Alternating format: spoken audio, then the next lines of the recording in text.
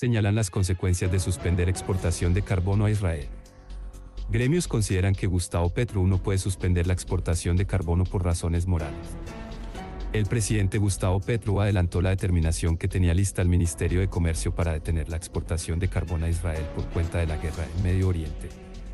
La determinación desató la reacción del sector de las exportaciones.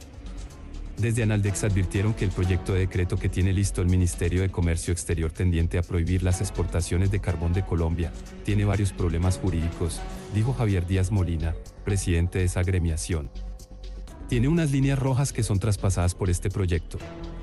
En primer lugar, viola la Constitución Nacional porque el Ejecutivo no puede establecer ese tipo de prohibiciones por razones morales, agregó señalando que se deben tener otras consideraciones comerciales.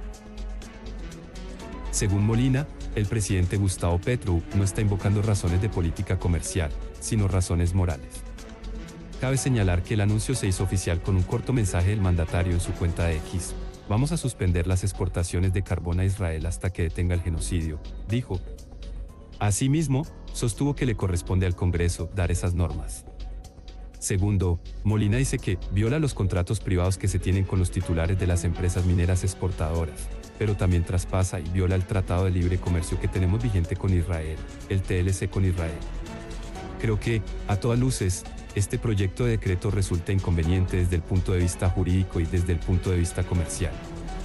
De otra parte, el exministro de Hacienda, José Manuel Restrepo, dijo que Colombia perdería exportaciones por valor 450 millones de dólares americanos en carbón térmico a Israel, que hoy representan 650 mil millones de dólares de pesos al año en impuestos.